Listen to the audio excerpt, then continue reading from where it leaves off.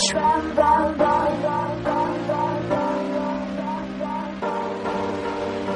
They're gonna eat me alive